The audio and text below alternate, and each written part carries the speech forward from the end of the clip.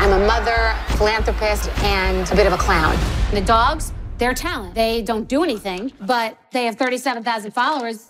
You're a baby. Get this work. I'm a serial entrepreneur.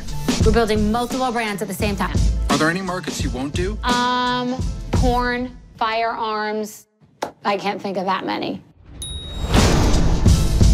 I need a vice president of operations. It's a big job. You have to like understand e-commerce, licensing, social media. I hate social media. I hate it too. I need somebody to run this goddamn circus. I'm a mover, shaker, money chaser, New York City. This is gorgeous. First impressions are paramount.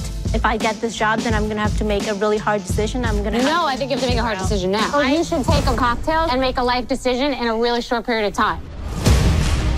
These projects are designed to put someone to the test. Where's my video? You know what? This is a disaster. Cause this is my There are no rules. Got it, got it. They're both leaving. Are you nervous? Well, I am now. I'm bringing in someone else. I can do whatever I want. What is Bethenny looking for? I am terrified. If this were me, I would take it so seriously. Ah!